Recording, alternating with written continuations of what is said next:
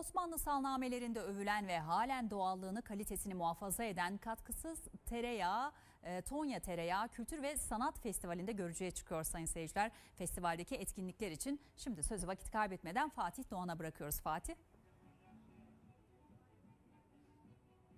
Karadeniz'de yaz mevsiminin gelmesiyle birlikte festivaller de başladı. Yörenin etnik kültürünü yansıtan en güzel festivallerden bir tanesinin Tonya ilçesindeyiz. Bu yıl 18.si düzenleniyor Tonya'daki Tereyağı Festivali'nin.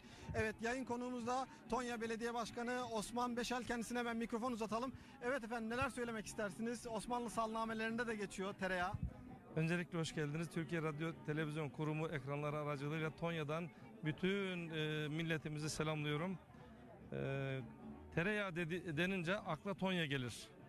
E, 1887 yılı Osmanlı vilayet salnamelerinde e, Trabzon tereyağı olarak e, belirtilen tereyağının Tonya'da üretildiği ve e, Trabzon üzerinden e, bütün e, Türkiye pazarlandığı ve hatta e, saraya gönderildiği açık şekilde yazılmıştır.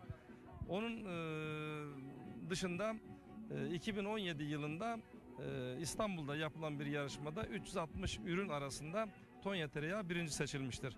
Daha Festivalde neler yapılıyor? daha Başkanım? da daha da ötesi e, 2018 yılında Tonya tereyağı Türk Patent ve Marka Kurumu'ndan marka almış. Coğrafi işaret tescil belge, belgesi almış bir tereyağıdır. Tabii bunun bütün e, ülkemize ve dünya tanıtılması lazım. E, Bu bir değerdir, bir e, ekonomik değerdir, bir gıda değeridir. E, bu amaçla e, bu yıl 18. düzenlediğimiz 18.sini düzenlediğimiz e, festivaller çok başarılı bir şekilde hayat bulmaktadır.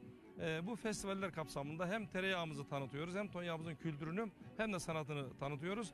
Tonya'yı biz e, tereyağının ve horonun memleketi aynı zamanda turizm cenneti olarak tanımlayabiliriz. Zira tereyağının yanında Horon e, Tonya'nın öz kültürüdür ve artı Tonya doğal yapısı, tarihi ve sosyal yapısı itibariyle e, turizm potansiyeli en yüksek olan e, ilçelerimizden bir tanesidir efendim. Teşekkür ediyoruz Sayın Başkanım. Ee, süremiz oldukça kısıtlı. Tabii bu festival içerisinde birçok e, etkinlik yapılıyor. En güzel tereyağı tatma, kuyma yapma, en güzel inek süsleme yarışmaları gibi yarışmalar yapılıyor diyerek sözü tekrar stüdyoya bırakalım.